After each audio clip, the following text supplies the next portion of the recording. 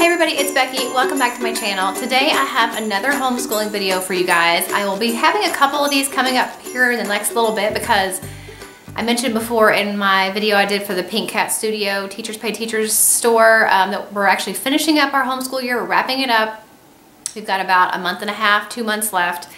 And so I'm trying to make sure that I get all of the homeschooling videos made for you guys that I wanted to for this school year. And then some things are going to carry over into next year and we have a little bit more time to use certain things. But I wanted to get this video and a couple other homeschooling videos up for you guys here pretty quickly so that you can get an idea of maybe some things you want to use for next school year or even over the summer. I know a lot of you guys like to continue doing some schoolwork over the summer. Some of you guys homeschool all year long. So hopefully the videos that I have coming up will be helpful to you guys. Today I'm going to be talking about the Moffatt Girls first grade language arts bundle. If you don't know who the Moffatt Girls are and you don't know what Teachers Pay Teachers is, Teachers Pay Teachers is basically like Etsy but for educational items. So there's all different types of teachers and educators on there that have created different unit studies and worksheets and things like that for you to purchase and use either in your classroom or if you homeschool in your homeschool room. So I have been using a lot of resources from Teachers Pay Teachers over the years and one of my favorite stores is the Moffatt Girls and when I did our um, when I did my review of the first language lessons of the Well Trained Mind Language Arts Workbook a couple months ago, I mentioned that the Moffatt Girls was coming out with a first grade language arts bundle. She already has a second grade bundle, but that was a little bit too advanced for my first grader. So she told me that she was going to be having one coming out for first grade, and I was like, that's perfect because I really wanted a, a language arts program that could be used with first language lessons. I love first language lessons. If you don't know anything about that or you haven't seen my video where I talk more about it, I will link it in the description box. It definitely needs something to go with it to have practice of whatever you're learning in the book. So that is where the Moffatt Girls Language Arts Bundle fits in perfectly. So her Language Arts Bundle is the perfect addition to any language arts program, but I think it works just like almost like it was meant to go with first language lessons because so far every unit she has released to that bundle has gone right along with what we are doing in first language lessons. It's a growing bundle, which means that when you purchase it, you pay the price that it is now, but as she continues to add more units to it, your price doesn't go up. You've already paid for it. You just get those downloads for free after that at that point. So the earlier you buy a growing bundle, the better off you are, the more money you're gonna save because you're getting it at a lower price, but you're still gonna have the benefit of all the future units that she's gonna add to that bundle.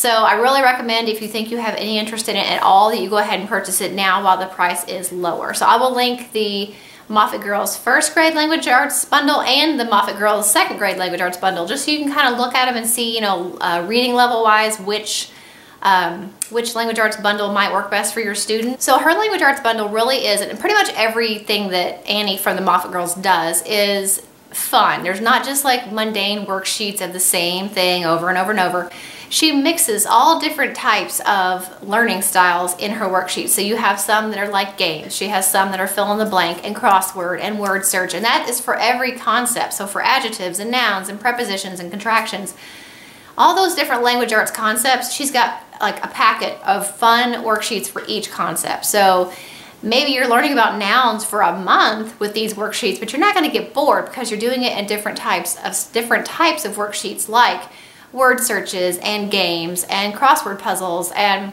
fill in the blank and all these different ways that you're learning about nouns, but you're keeping it interesting, you're making it fresh, and it's something different every day. I really cannot say enough good things about pretty much everything that Annie from the Moffatt Girls does. I love pretty much everything she has that I've ever gotten, um, but I think this is my favorite thing. Well, I've got two favorite things, and I'm going to tell you about the next one in a minute, but it's just been so perfect because I do love our language arts program so much, but it does need more practice. I really, this could not have been a better combination to use together for language arts because I've got my scripted teacher lessons from First Language Lessons, but I've also got these fun worksheets and games. So I highly recommend that you check it out. I will leave the link for it in the description box below as well as a link to the Moffatt Girls Teachers Pay Teachers store just overall. So you can get an idea of how much variety she has in her store for like every subject. I'll leave that in the description box below as well. One thing I wanted to give a little bit of a mention in this video that we're using along with the First Language Lessons Workbook, we're using along with the Moffatt Girls um, first grade language arts packet. We also use and love her comprehension stories. These are basically packets of month-long comprehension stories for the entire school year. So if it's January and you know President's Day is coming up, there's going to be a comprehension story in there about George Washington. Or if it's February and it's Abraham Lincoln's birthday, you're going to have something in there about Abraham Lincoln. But you're also going to have fun stories mixed in about Valentine's Day and Christmas and all different types of monthly and seasonally and holiday season and holiday themed comprehension stories. And they're basically just a short story the child reads. She has two different versions. She has one where they can color code the answer in the reading so it helps them with their answers and then one where there's no color coding so they have to kind of use a little bit more recall of what they read to answer the questions. So they're going to read the short story and then they're going to answer the questions at the end so it provides reading practice and it does really provide that comprehension. Are they remembering what they're reading? And I think that's especially important in the early stages of reading like kindergarten, first, second grade because a lot of times kids are focused so much on what each word is and what each sound you know each letter makes is it's so it can be a little distracting to them they, they kind of don't really realize what they're reading because they're so focused on just trying to figure out what the words are. So having these comprehension stories that are fun for her to read, they're short. A lot of them are fiction and they're just fun, but a lot of them are nonfiction and she's actually learning. Like she learned about Abraham Lincoln and his birthday and which president he was just based on that little bitty short paragraph about Abraham Lincoln. So it's been a really great way to provide her extra reading practice that is not in the norm of her reading program, but then also comprehension. So you have to remember what you read to be able to answer these questions. Sometimes we even go through the comprehension stories and diagram the sentences. So I'll say, okay, now in that sentence, what is the noun? What's the pronoun? What type of sentence is that? So even then, we're getting extra practice from language arts by bringing it over into her comprehension stories. Again, it's another thing you can add to any other program you might be using because we already use a reading program but you're teaching comprehension that's different than just teaching reading. And so it's a really great addition to any reading program. It's great for practice, and I like how it's a mix of fiction and nonfiction. I really recommend checking that out as well. That is basically my review of the Moffatt Girls first grade language arts program in a nutshell, and then also the comprehension stories. I really, I'm not about spending a lot of money on things that are not necessary.